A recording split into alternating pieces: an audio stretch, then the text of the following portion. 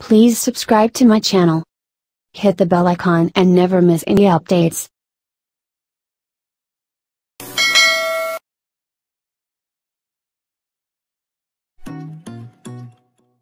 Hi friends அஸ்ஸலாமு வலைக்கம் welcome back to my channel Sumi's home chef இன்னைக்கு நம்ம பார்க்க போகிறது நார்மல் ஸ்டவ் டாப்லேயே வச்சு coin biscuit Kerala special coin biscuit எப்படி பண்ணுறதுங்கிறது தான்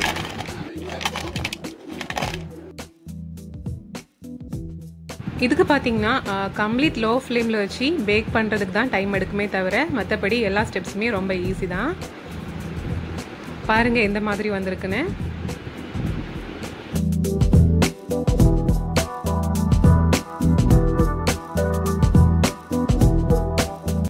ரொம்பவே அழகாக வந்திருக்குல்ல. இப்போ வாங்க இது எப்படி பண்ணுறதுன்னு பார்க்கலாம். இதுக்கு முதல்ல வந்து ரூம் டெம்பரேச்சரில் இருக்கக்கூடிய ரெண்டு எக் எடுத்துக்கலாம். அதை இப்போ இந்த பவுலில் உடச்சி விட்டுக்கிறேன்.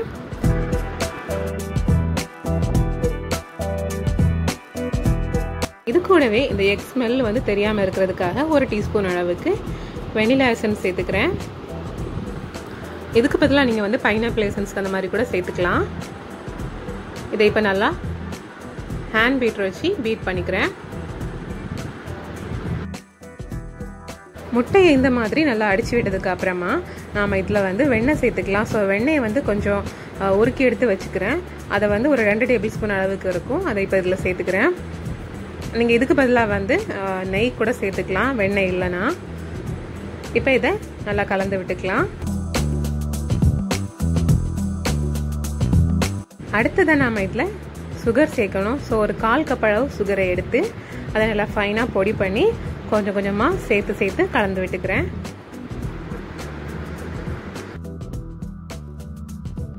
ஸோ சுகர் கம்ப்ளீட்டாக கலந்ததுக்கு அப்புறமா இதில் வந்து பேக்கிங் பவுடர் சேர்க்கணும். ஒரு அரை டீஸ்பூன் அளவுக்கு பேக்கிங் பவுடர் போதும். பேக்கிங் பவுடர் சேர்த்து நல்லா கலந்து விட்டதுக்கு அப்புறமா இதில் வந்து ஃபுட் கலர் சேர்த்துக்கலாம். நார்மலாக எல்லோ கலர் தான் யூஸ் பண்ணுவாங்க. ஸோ எல்லோ கலர் இல்லைன்னா நீங்கள் ஸ்கிப் பண்ணிக்கலாம். அது வந்து ஆப்ஷனல் தான். அப்புறமா வந்து நம்ம இதில் வந்து பிளைன் ஃப்ளோர் அதாவது மைதா மாவு அது வந்து ஒரு முக்கால் கப் அளவுக்கு. அதையும் லம்ஸ் வராமல் இருக்கிறதுக்காக கொஞ்சம் கொஞ்சமாக சேர்த்து நல்லா கலந்து எடுத்துக்கலாம். ஸோ ஃபைனலாக லம்ஸே இல்லாமல் க்ளீனாக கலந்து எடுத்து வச்சுக்கோங்க.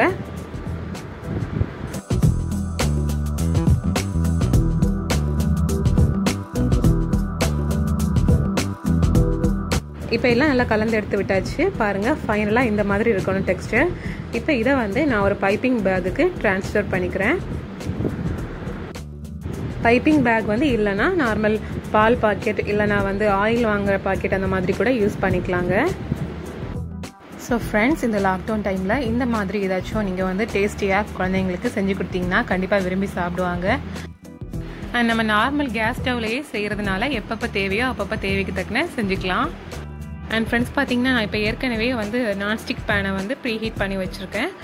அண்டு கம்ப்ளீட்டாக லோ ஃப்ளேமில் வச்சுக்கணும். எந்த அளவுக்கு லோ ஃப்ளேம் uh, வைக்க முடியுமோ அந்த அளவுக்கு வச்சுக்கணும். இப்போ இந்த பைப்பிங் பேக்கில் வச்சுருக்கக்கூடிய இந்த பேட்டரை நான் லைட்டாக அந்த வந்து டிப்பை வந்து கட் பண்ணிக்கிறேன் சிசர்ஸ் வச்சு. கட் பண்ணிக்கிட்டு uh, அண்ட் பாச்சமன் பேப்பர் வச்சுருக்கேன். உங்ககிட்ட பாச்சமன் பேப்பர் இல்லைன்னா நீங்கள் வந்து நார்மல் ஏ ஃபோர் பேப்பரில் வந்து பட்டரோ இல்லைனா வந்து ஆயிலோ தடவி எடுத்துக்கலாங்க. அந்த மாதிரி கூட நீங்கள் ட்ரை பண்ணிக்கலாம். ஸோ ஏற்கனவே ப்ரீ ஹீட் பண்ண தவால இப்போ வந்து நாம் காயின் பிஸ்கெட்டுக்கான பேட்டரை விட்டுட்ருக்கோம் ஸோ எந்த சைஸில் உங்களுக்கு வேணுமோ அந்த சைஸில் நீங்கள் வந்து விட்டுக்கலாம். அண்ட் கொஞ்சம் கொஞ்சம் கேப் விட்டு நீங்கள் வந்து விட்டுக்கணும் அந்த மாதிரி. அண்ட் ஒன் மோர் திங் என்னென்னு பார்த்தீங்கன்னா நான் வந்து இந்த ஸ்டவ்வில் வந்து கம்ப்ளீட் லோ ஃப்ளேம் வந்து செட் பண்ண முடியாததுனால கீழே வந்து தோசைக்கல் வச்சுருக்கேன்.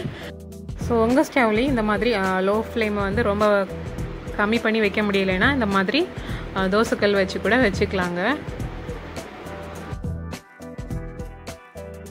இப்போ வந்து நாம் இந்த மாதிரி அங்கங்கேயா வந்து கேப் விட்டு காயின் பிஸ்கெட் பண்ணுறதுக்கான பேட்டரை விட்டாச்சு. இப்போ கரெக்டாக அதுக்கு செட் ஆகிறது மாதிரியான ஒரு மூடி வச்சு மூடிக்கோங்க. கம்ப்ளீட் லோ ஃப்ளேமில் டென் மினிட்ஸ் வச்சுக்கோங்க.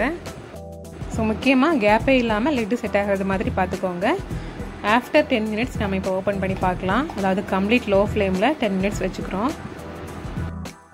நம்மளோட ஸ்டவ் டாப் காயின் பிஸ்கெட் ரொம்பவே சூப்பராக ரெடியாகிருக்கு பாருங்கள் இது வந்து நம்ம செஞ்சு முடிச்சதும் கொஞ்சம் சாஃப்டாக இருக்கிறது மாதிரி இருக்கும். பட் கம்ப்ளீட்டாக கூலானதுக்கப்புறமா கிறிஸ்பியாக இருக்கும். இப்போ இதை நான் சர்விங் பிளேட்டுக்கு எடுத்து மாற்றிக்கிறேன் பாருங்கள் எவ்வளோ அழகாக வந்திருக்குன்னு.